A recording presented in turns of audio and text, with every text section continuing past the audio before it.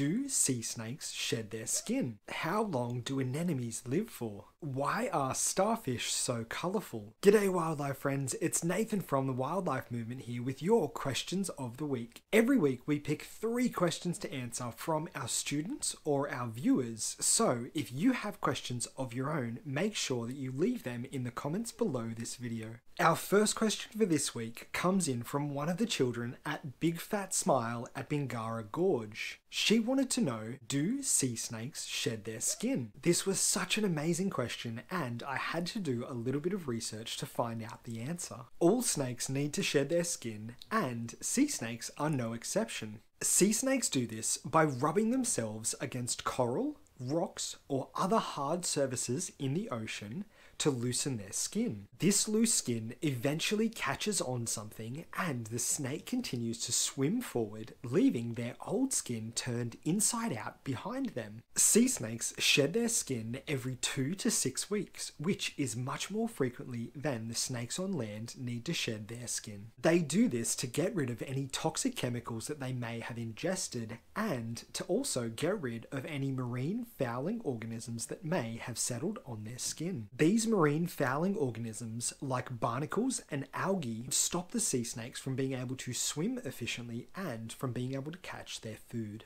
Our second question is one that we are usually asked by lots of students in our programs. They all want to know how long do sea anemones live for? The lifespan of sea anemones are likely to be different for different species. Some information sources say that they live for anywhere between 80 to 100 years, whereas others say that they can live forever because they're able to produce clones of themselves. One of the oldest sea anemones that I was able to find information about was a beadlet anemone that was named Granny. She was collected from the coast of Scotland by a naturalist named John Dalyell in 1828. At the time that she was collected, it was estimated that she was around seven years old. She then spent the next 23 years living in a glass jar while being cared for by Dalyell before he died in 1851. Granny was then cared for by several other naturalists until she died in 1887 at the age of 67 years old.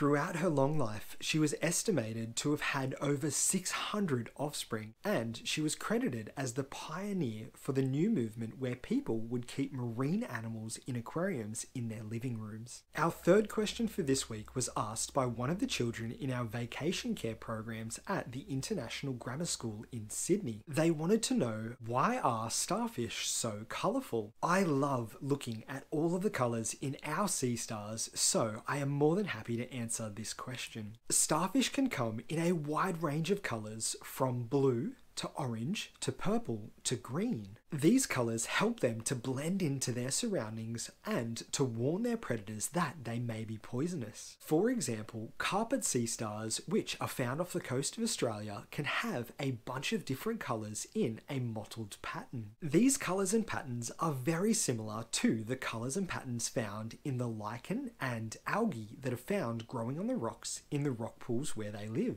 This helps them to camouflage with their surroundings and helps them to stay safe from all of their predators. That wraps it up for this week's question of the week video. If you found this video interesting, please make sure that you give it a like and you may want to check out the rest of our question of the week videos in this playlist right here. I appreciate you so much for sticking around to the end of the video and until next time, keep living the wild life.